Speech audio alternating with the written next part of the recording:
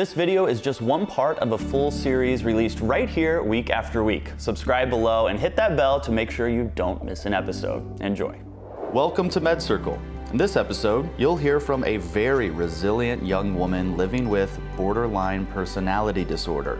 Sammy Grimm lived through what she calls a chaotic childhood, riddled with its own set of challenges in school, family, and mental health. Sammy, I am so thrilled that you're here. Oh my gosh. And so thank you. excited that you're here because I've watched you on YouTube and you're very likable. Thank you. You know, that's on YouTube.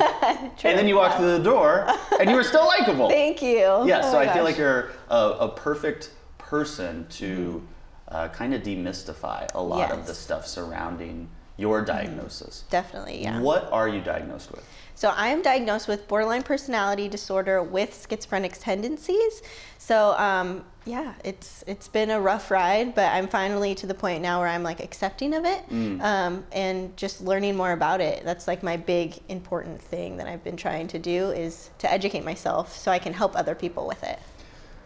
So why come sit on this couch with me for many hours and talk about this to all of these people around the world? I just want to help other people, and I know that BPD, like, there's tons of um, people that talk about depression and anxiety, which I think is super important, but I feel like there's not enough people talking about BPD or schizophrenia or any of the really big serious illnesses. Um, and I want to be that platform where people can come to to kind of, you know, unwind and just kind of learn about themselves and to feel comfortable and to, because a lot of times like i felt alone and stuff like that and i don't want anyone else to feel that way so i definitely wanted to be a platform where people can come to and you know learn about themselves Yeah. Mm-hmm. I think that's such a selfless act Thank and you. giving act, but at the same time, it's also so helpful for you, I would imagine. Definitely, yeah. Because when you can help other people, you're in turn helping yourself. definitely yeah Let's first define what borderline personality disorder is. Okay, so it's an instability with relationships and yourself, pretty much. There's nine characteristics in borderline personality disorder, which I have all 9 Uh, and I know you've done an interview with Doctor about that. I watched those videos. Um, so, yeah, that's pretty much it. I suffer from all nine of those characteristics. Um, and yeah, that's pretty much it. I was really excited to hear when you came in that you said um, uh, that you had first seen my interview with Med Circle with Encina. I did, yes. Before we connected Med Circle and, and Yes, you together. yes. So I'm, I'm glad that uh, those videos are reaching people and then that you saw that and felt comfortable enough to come here to do it. Definitely, yeah, Yeah. that was an incredible interview. Yeah, I yeah. loved it. Yeah. Me Yeah, too, me Yeah, too. it was so good. wonderful. She was so great. So let's talk about you for a little bit. Okay. And then later in the episode, we'll go more into BPD. Where were you Okay. born? I was born here in San Diego. Um, I grew up in Florida, in a really small town in Florida, um, for a few years, and then came back to San Diego. Okay, and why did Yeah. you come here?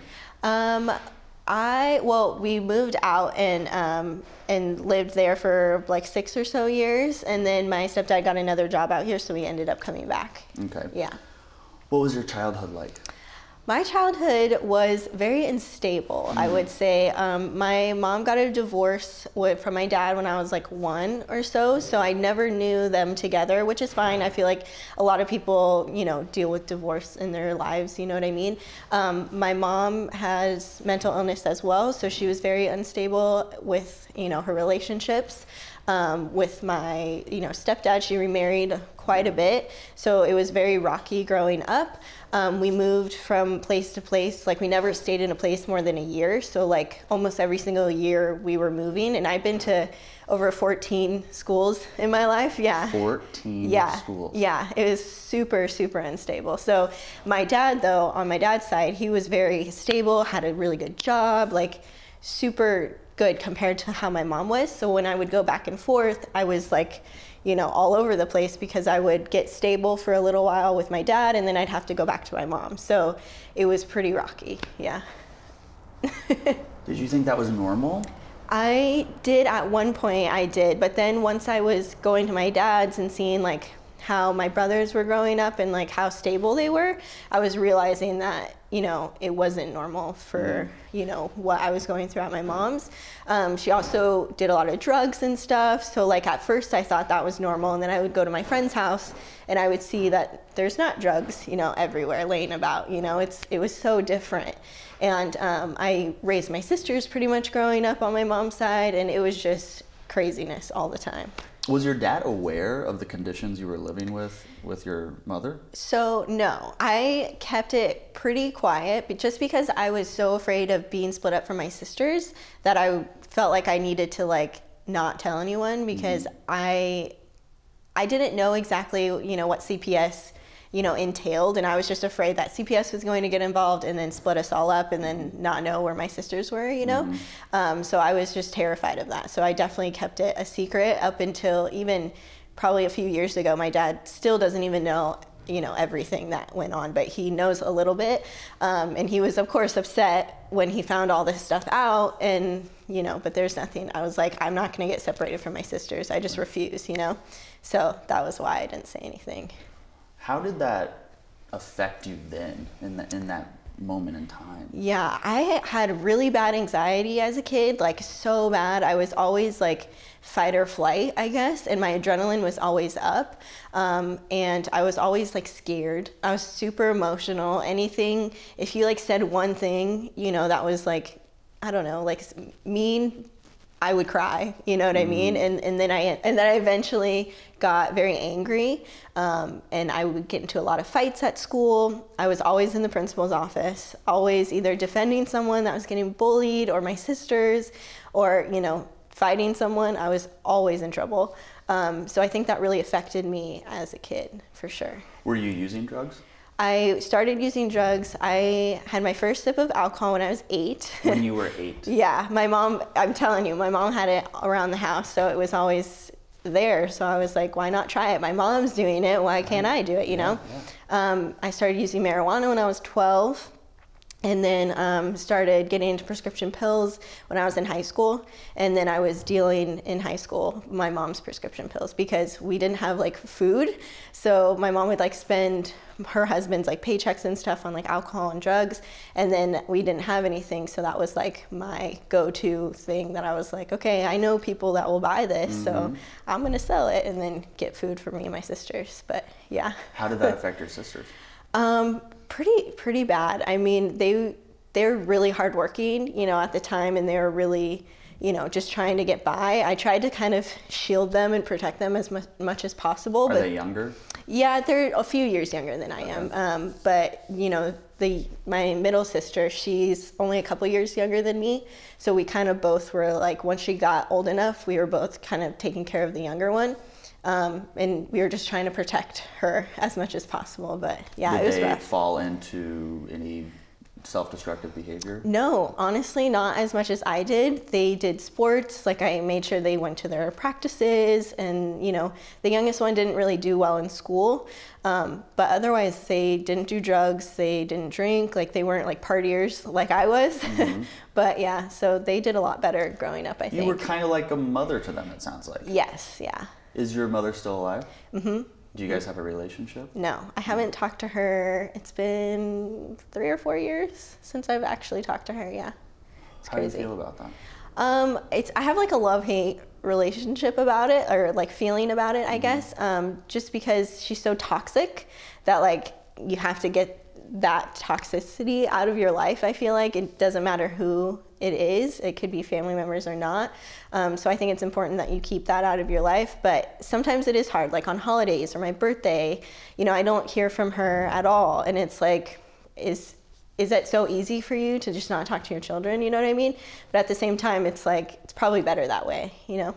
Does she talk to your sisters? Mm-mm, no, no. There's a lot of drama, but yeah. So no, she doesn't talk to anyone. What about your dad?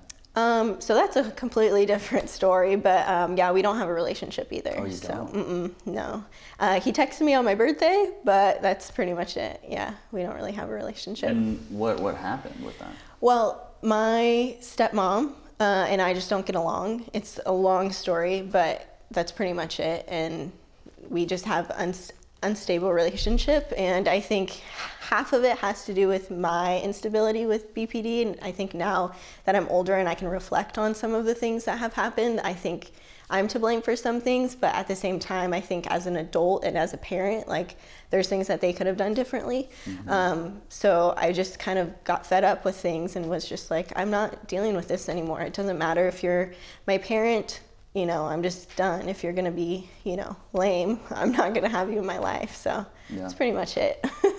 I, I understand that. It's a it's a tough call to make the choice to cut a family member mm-hmm. out of your life. It's so hard. But if they're not adding value and if they're like you said are toxic, mm-hmm. it often is the best choice. Yep and it's a very hard choice to make for sure because I have people that ask me all the time how how do you do it and I I don't know it's so difficult but eventually you have to get fed up enough to where you're like I don't deserve this right. you know so right. and do your sisters have a relationship with them no Mm-mm. what about you and your sisters yeah we talk all the time yeah okay. so they are in Florida right now mm-hmm. with um, my youngest sister's dad so they all live together okay. um, out there. But yeah, they're doing really well. well, in this stage of your life, mm-hmm. you didn't know you had BPD. Right. Were you seeking out any mental health treatments? Um, I didn't start seeking out um, any treatment until I was 19 when I finally knew that like I knew there was something going on because How did I was know that though?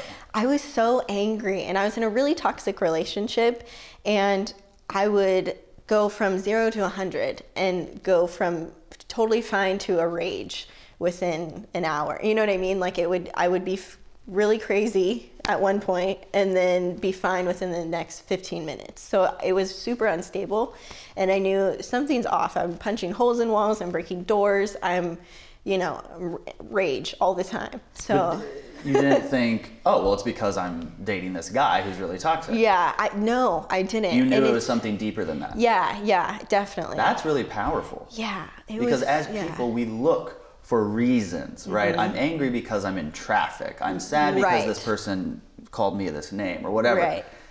So if so, the natural instinct, I believe, for people is to point at something right. else on why they are feeling that way. But you did the mm-hmm. very brave thing mm-hmm. and the very honest thing of pointing at yourself. Yeah. And saying, I'm I need help. Yep, yep. Well and I had seen my mom growing up have these mental problems and she never took care of it. So I was always like, I'm not gonna be that way. I wanna know what the problem is so I can fix it mm-hmm. type thing. So I finally got enough courage to go to the doctor and start figuring it out. But that's why that's what motivated me was my mom not getting treatment or being off and on treatment and i was just like i don't want that for my life it's so unstable you know so that's and you did what that I decided. 19 years old. Yeah. to me, a 19 year old is still a child. Yeah. Like, let alone they understand. They don't. Mm-hmm. They, the fact that you have that self awareness mm-hmm. is incredible to me. Thank you. do you recognize that, or do you think, no, that's just no, that's of course? Um, I don't know. I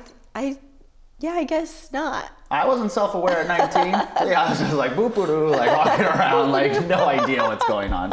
And you actually took it into your own hands. Mm-hmm. Uh, now you went to a doctor. Yes. A primary care physician. Um, yes, I did. I haven't had insurance like my whole life, mm-hmm. so I didn't even know where to start. Mm-hmm. So I did my research and I went to a regular doctor, and then they um, told me to go to a psychiatrist. That's good. And then just down the line, got went to a psychiatrist and a therapist and I completed an interview with Dr. Judy Ho on substance abuse and depression. Mm-hmm. During that interview, we learned that about 74% of people first go to a primary care doctor to get mm-hmm. a mental health uh, help. Yep.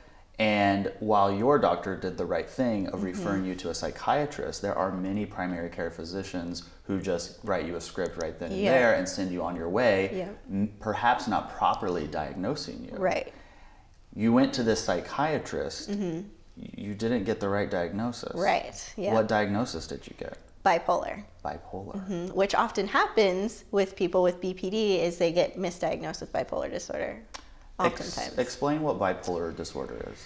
So bipolar disorder is from from what I know, going mm-hmm. from zero to 100 real quick, like just being super happy and then angry. But with BPD, it can go within the hour, I guess. Mm-hmm. I don't know exactly how to explain it, but um, just having instability with your emotions and your moods. So you can be manic for hours and be up and you know happy and getting a lot of things done, and then it can that can last for days, mm-hmm. um, and then all of a sudden you can be down for days as right. well. So I I know there's a lot of mania with it. Mm-hmm. Um, so that's what they thought I was having with like me going in a rage and everything.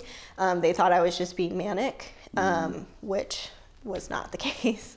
well, uh, in our Med Circle series with Dr. Sportelli, we mm-hmm. go into the details of bipolar 1 and bipolar 2 disorder. Mm-hmm. So, for Med Circle members, make sure you check that out. This misdiagnosis caused mm-hmm. you to seek out or get the wrong type of treatment, exactly. which of course I'm assuming did not help your situation at all. Exactly. So in our next episode, we're going to dive in to what that misdiagnosis was more in depth and also what that did to Sammy, the brave girl, self-aware at 19. Are you self-aware right now? Come see our second episode, medcircle.com. Thanks for watching. Thanks for watching. If you liked what you just saw, then why not subscribe? Click right here for new episodes and new series every week. And to access exclusive mental health videos that we only release at medcircle.com, check out the links below.